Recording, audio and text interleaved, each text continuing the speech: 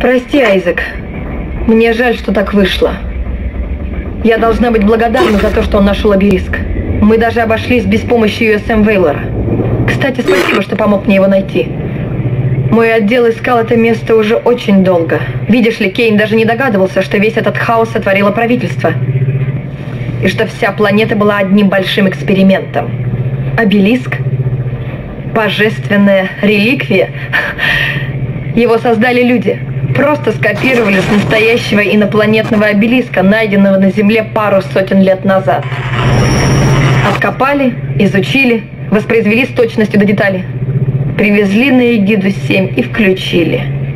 И вот ты видишь результат. Сплошная череда кошмаров. Самое мудрое, что они могли сделать, объявить систему запретной.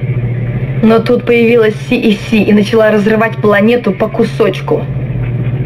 Но эксперимент все еще не был окончен. Кейн был прав насчет разума Роя. Обелиск его сдерживал, но сейчас это уже не имеет значения. Обелиск у меня, а вся эта система может катиться в ад. Если для тебя это что-то значит, ты проделал отличную работу, Айзек. А теперь прощай. Люблю тебя.